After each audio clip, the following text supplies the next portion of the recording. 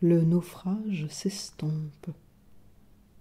Les gémissements, régentés par la pâleur résiduelle, se sont tus. L'altière déliquescence opère en dispensatrice d'une once de survie.